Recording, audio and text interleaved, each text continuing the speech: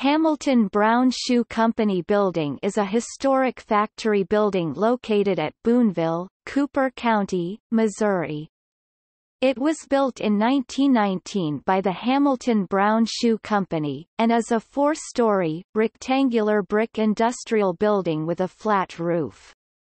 The roof is framed by a corbelled parapet capped with tile coping. The building features a five-story elevator tower and four-story tower which housed restrooms.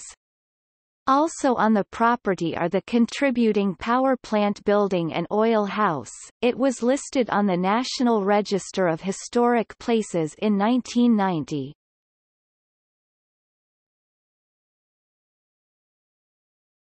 Topic. See also